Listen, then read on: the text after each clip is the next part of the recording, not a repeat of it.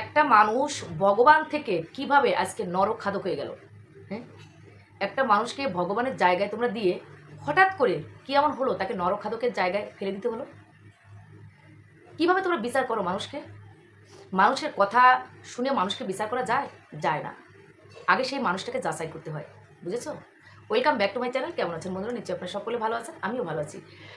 অনেকে আপনারা বলছেন যে আপনারা ভিউ কামানোর জন্য এগুলো করছেন। একদম অ্যাবসোলুটলি রাইট ভিউ কামানোর জন্যই করছি এবং প্রতিবাদও করছি। যখন আমি একটা ভিডিও করব, তখন তো ভিউ হবে, তাই না? ভিউ না হলে কি মনের ভিতর ভালো লাগে? আর অনেকে কমেন্ট করে যাচ্ছ যে, আপনাদের কি খেয়ে দিয়ে কোনো কাজ নেই? এই একই কমেন্ট বারবার আসে। আপনাদের খেয়ে দিয়ে কোনো কাজ নেই যে, আপনারা এখানে বসে বলে লোকের সমালোচনা করছেন? অবশ্যই, লোকের সমালোচনা করার জন্য আসছি। তারপরে আরেকজনে কমেন্ট করেছে যে আপনিও তো ভাট বকে যাচ্ছেন। আমি কোনো ভাট বকছি না। যেটা সত্য সেটাই বলছি। আর আরেকটা কথা শোনো, তোমরা যারা নেগেটিভ কমেন্ট করবে না, তাদের কমেন্ট আর আমি দেখব না। শুধু এখন বললাম, আর দেখব না। এটা আমার শেষ বাড়ি দেখার মতো। অনেকে উত্তর দিই, ভালোভাবে উত্তর দিই, আর এখন থেকে ভাবছি যে উত্তরটা দেবো না। ঠিক আছে? আশা করি বুঝতে পেরেছ। আজকে ডিক্লিয়ার করব এই সোশ্যাল ফর্মে অনেকে আগে জেনেছো হয়তো কয়েকটা ভিডিওতে। অল্প অল্প আপসা আপসা বলেছি, কিন্তু আজকে সম্পূর্ণটা বলব। যারা দেবাশিসের নামে নোংরা কথা বলছো, তাদেরকে বলছি, যদি কারও গায়ে লাগে করার কিচ্ছু নেই। দেবাশিস আমার কাকার ছেলে, দেবাশিস আমার ভাই। এ, দিদি হয়ে তার পাশে দাঁড়াবো না, এটা হতে পারে না। আমি তো জানি আমার ভাই কেমন, তাই না? অন্য কেউ জানবে না। অন্য সবাই বলবে দূর থেকে যেটা শুনবে, লোকের কথা শুনবে, সেইটা শুনে তাকে বিচার করবে। সে কিন্তু আমার ভাই, কাকার ছেলে। তার ভালো মন্দটা আমি জানি। সে কতটা খারাপ, কতটা ভালো, সেটা কিন্তু আমি জানি, অন্য কেউ জানে না। তাই না? তাই একজন ইউএসের মাসিমার কথা শুনে একজনকে বিচার করা যায় না। আর সেই ইউএসের মাসিমার কথা শুনে আর একজন আমাদের ওয়াইটির একজন গান্ডু দালাল, সে একের পর এক কল রেকর্ডিং ছেড়ে যাচ্ছে। কে বলতে পারে যে ইনাকে ইনি ভাড়া করে এনেছেন দেবাশিসের বিরুদ্ধে কথা বলার জন্য? আগে যেমন গিয়েছিল তার বাবার বাড়িতে, তার বাবার কাছ থেকে, তার মায়ের কাছ থেকে, তার বোনের কাছ থেকে সমস্ত খবরাখবর এনে সোশ্যাল মিডিয়ায় ছেড়েছিল। আর এখন এনাকে জুটেছে। আর আরেকটা কথা শুনলাম যে ইউএসের ওই মাসিমা বলছে যে, বাংলাদেশেও আমার লোক আছে, বাংলাদেশে আমি লোক লাগাবো। আপনি যা ইচ্ছে তাই করতে পারেন, কোনো প্রবলেম নেই, কোনো প্রবলেম নেই। আপনি যখন ইউএসএ বসে পড়ে এত খারাপ খারাপ কথা বলছেন একটা ছেলের সম্পর্কে, যাকে আপনি সাহায্য করেছেন বিশ হাজার টাকা দিয়ে বলছেন, সেই ছেলেটাকে এখন আপনি নিচে নামিয়ে দিচ্ছেন। এর থেকে ভালো মন মানসিকতা আপনার হতে পারে বলুন তো? হতে পারে না। আপনার মানসিকতাকে আমি স্যালুট জানাই। আপনি বললেন না যে আপনি পঁয়ত্রিশ বছর ইউএসএতে আসেন আপনি হায়ার এডুকেটেড একজন মানুষ। আপনি কি মিথ্যা বলেন নাকি? হায়ার এডুকেটেড যদি আপনি হয়েই থাকেন, তাহলে একটা ছেলেকে আপনি সাহায্য করে সাহায্য করে সেই জিনিসগুলো আপনি সোশ্যাল মিডিয়ায় ছাড়তে পারতেন না বা বলতে পারতেন না। আপনি কি জানেন যে আপনার প্রতিটা কথা সোশ্যাল মিডিয়াতে এক্সপোজ হচ্ছে? জানেন আপনি? আপনি মনে হয় জানেন না। যাদের সাথে আপনি কথা বলছেন, তারা কিন্তু প্রত্যেকটা জিনিস আপনার সোশ্যাল মিডিয়াতে ছড়িয়ে দিচ্ছে। আপনার ইমেজটা কোথায় যাচ্ছে, মাসিমা? আপনার ইমেজটা কোথায় যাচ্ছেন হ্যাঁ মানলাম।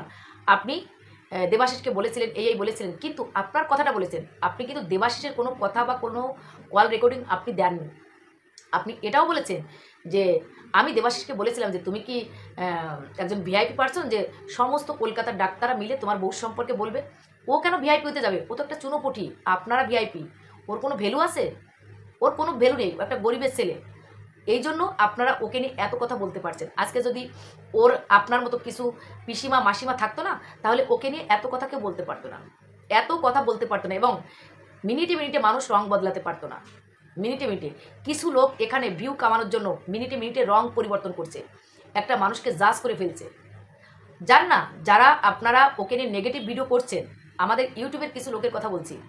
তারা একটুখানি তাদের বাড়ির পাশের লোকজনের কাছে একটু ফোন করে শোনেন বা ওখানে গিয়ে জাস্টিফাই করে আসেন যে আসলে দেবাশিস কী? আমারই এক ক্রিয়েটার দিদি, সে বলল যে, ভগবান আজকে নরখাদক হয়ে গেছে। কি করে বললে দিদি তুমি? এই কথাটা কি করে বললে? তোমাকে আমি সবসময় শ্রদ্ধা করি, ভালোবাসি। তার মানে এই না যে তুমি যেটা ভুল বলবে সেটাকে আমি সমর্থন করব। কখনোই না।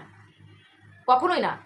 এক সময় তুমি যখন ম্যান্ডিকে নিয়ে কথা বলতে, তখনও বলেছিলাম যে ম্যান্ডি ভুল ছিল, ম্যান্ডি ভুল ছিল। সেই ভুলটা কিন্তু প্রমাণ হয়ে গেছে সোশ্যাল মিডিয়াতে। ভুলটা প্রমাণ হয়ে গেছে না?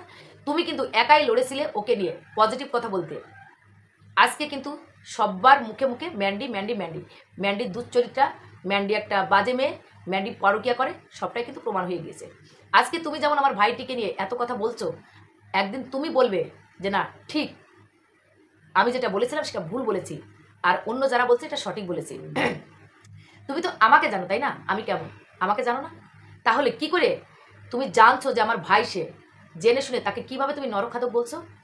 কীভাবে তুমি ছোট করছ তাকে? কি কারণে করলে, দিদি? এটা তোমার কাছে প্রশ্ন।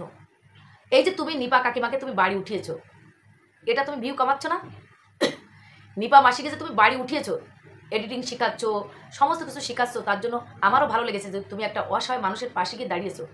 তাহলে তুমি যখন ওই মানুষটার পাশে গিয়ে দাঁড়াতে পেরেছ, তাহলে তুমি দেবাশিসকে কেন এত উল্টোপাল্টা কথা বলছো? তোমার যখন কে যেন মারা গিয়েছিল, তখন তুমি ক্যামেরা খুলে কাঁদনি? ক্যামেরা খুলে কাঁদনি? হয়তো সেই ভিডিওগুলো তুমি দেখাতে পারোনি। কিন্তু কেঁদেছিলে তো? আর আজকে দেবাশিস যেটা করেছে, তার বউয়ের চ্যানেল তার বইয়ের চ্যানেল ছিল, তাই প্রত্যেকটা জিনিস আমাদের বন্ধুদের মাঝে ছড়িয়ে দিয়েছে।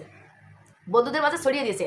আমরা যারা ব্লগ করছি বা এই যে কন্ট্রোভার্সি করে যাই করি না কেন, আমার সংসারে যদি কিছু হয় বা কোনো অঘটন ঘটে, সেটা আমি শেয়ার করব না? অবশ্যই শেয়ার করব।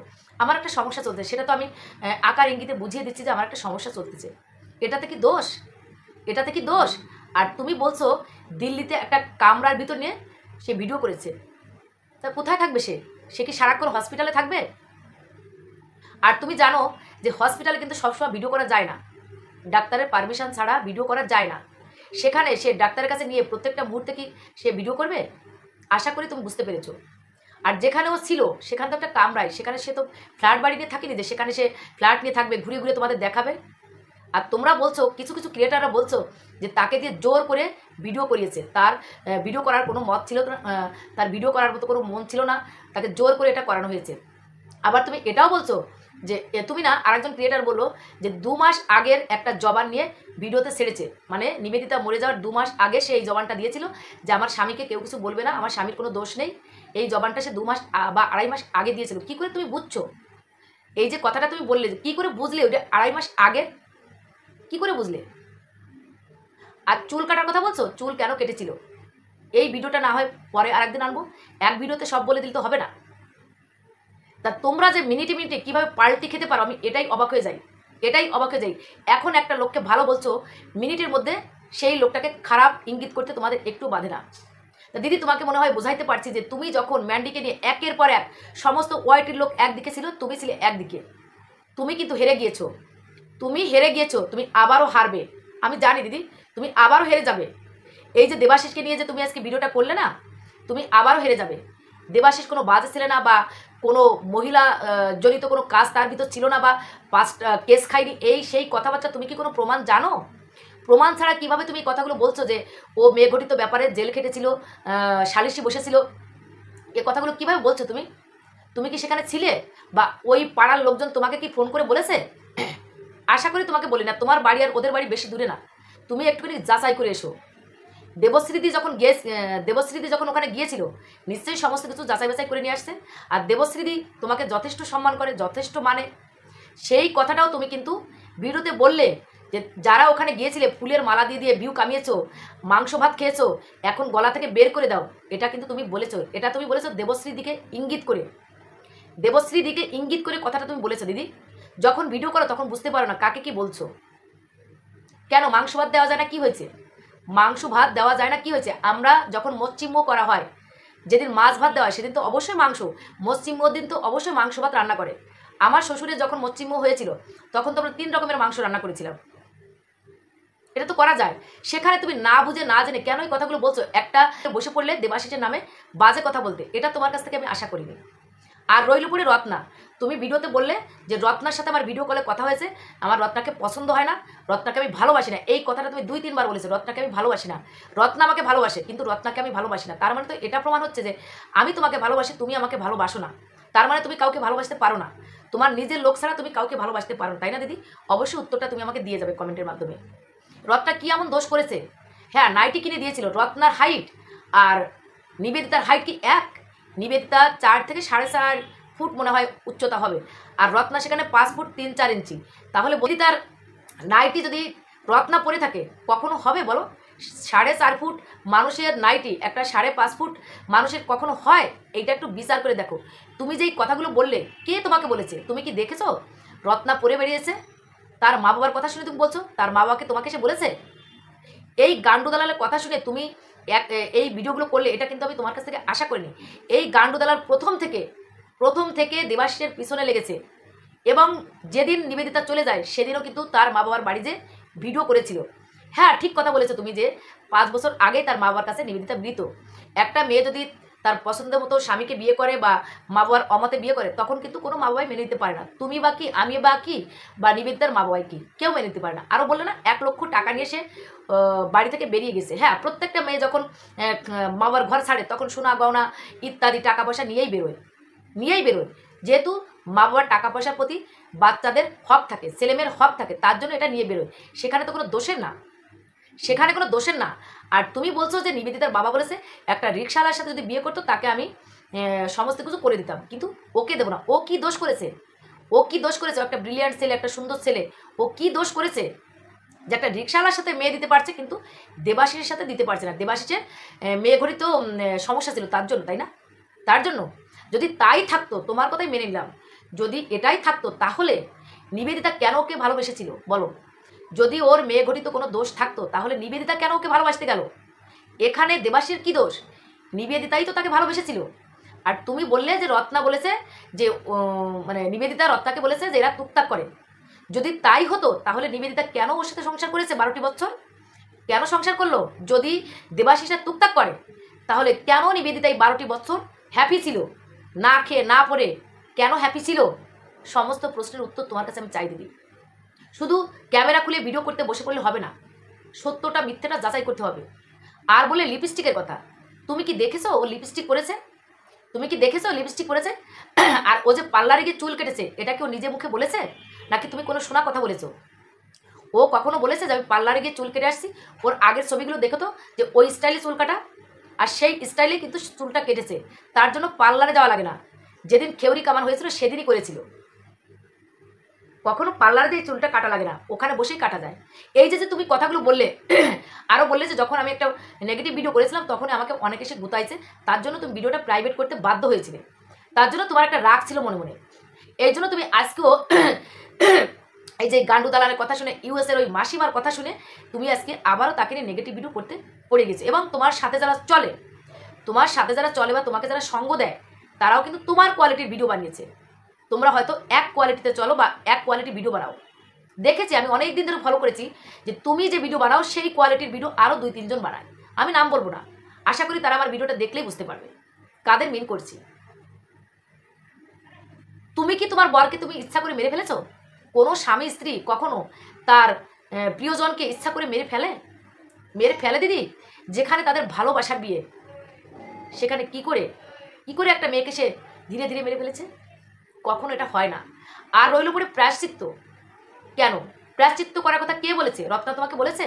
আচ্ছা আমি রত্নার কাছে শুনব যে এই কথাটা কে বলেছিল? আর অনেকে বলছে যে রত্না এখন পাল্টি খাচ্ছে। আর তুমি রত্নার কাছে জবাব চাইলে, রত্না, তুমি সত্যি কথাটা বলবে।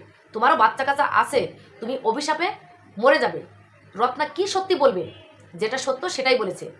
আর রত্না দু হাজার টাকা দিয়েছে ও তো স্বীকার করেছে, আমি দু হাজার টাকা দিয়েছি। আর তার মা বাবা কত টাকা দিয়েছে সেটাও বলেছে। রত্না কি তার মা বাবার টাকা মেরে খেয়েছে? তোমার কথার মধ্যে বোঝা যায় যে ওর মা বাবা যে টাকা পয়সা দিয়েছে, নিবেদিতার মা বাবা যে টাকা পয়সা দিয়েছে, রত্না কিছুটা হাতিয়ে নিয়েছে। কিছু টাকা হাতিয়ে নিয়েছে। না, দিদি, এরকমভাবে কাউকে বলো না। আমি তোমার প্রতিবাদী ভিডিও পছন্দ করি, তার মানে এই না যে তুমি ইললজিক্যাল কথা বলবে, সেটা আমি, তুমি ইললজিক্যাল কথা বলবে, সেটা আমি মেনে নেব। না, সেটা কখনো হতে পারে না। আজকে তোমরা কি সুন্দর একটা ছেলেকে, একটা বাজে মানুষের কথায় তাকে নরক খাদক বানিয়ে দিলে। নরক খাদক বানিয়ে দিলে। ভগবানের জায়গা থেকে নামিয়ে নরখাদক বানিয়ে দিলে। কে বলেছে ওকে ভগবান বলতে? কেউ কি বলেছে ভগবান? হ্যাঁ তার বউয়ের প্রতি সেবা যত্ন দেখে সবাই বলেছে, তোমার মতো স্বামী হয় না। যেটা দেখেছে লোকে, সেটাই বলেছে। কখনো এই সব কাজগুলো বউয়ের সাথে ফেকভাবে হয় না। বউকে শ্যাম্পু করে দেওয়া বউয়ের পা ডলে দেওয়া সাবান দেওয়া, এটা কখনো ফেক হয় না। তোমাদের চোখে ফেক হচ্ছে, এটা কখনো ফেক হয় না। ফেক যেটা করে ম্যান্ডি করেছে। ম্যান্ডি সোমনাথরা ফেক করে। আর সেই ম্যান্ডিকে তুমি সারা বছর ধরে সাপোর্ট করে আসছো। আর সেই ম্যান্ডি আজকে প্রমাণিত হয়ে গেল, ও একটা বাজে মেয়ে। ও একটা বাজে মেয়ে। যাই হোক বন্ধুরা, ভিডিওটি এই পর্যন্ত ছিল। তোমরা সকলে ভালো থাকো, সুস্থ থাকো, নমস্কার।